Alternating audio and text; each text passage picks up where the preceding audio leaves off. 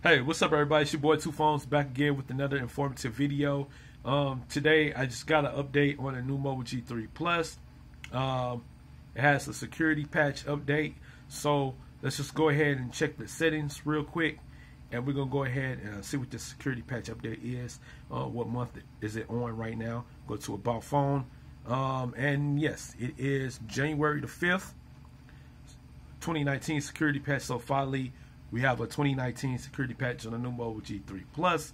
Now, only one um, major update I've seen come across my screen uh, via a window is Face ID.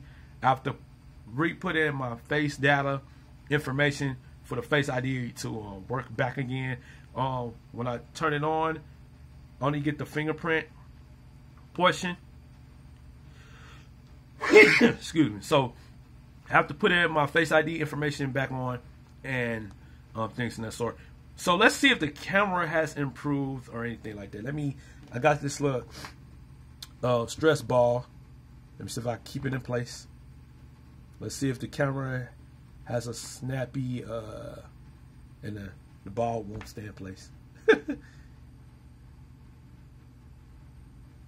it won't stay in place, but let's see if the camera has improved anything.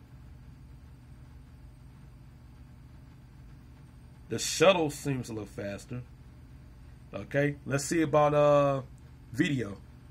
Let's go. Let's go. Scroll to video. Uh, there we go.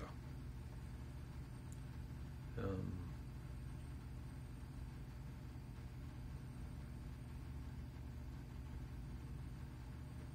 all right, so we're gonna stop. Um, let's just check playback real quick.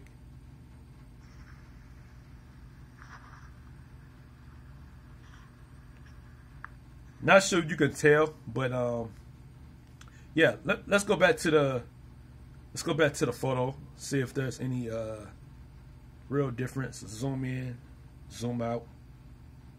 Uh, see if you can see any different details in the camera.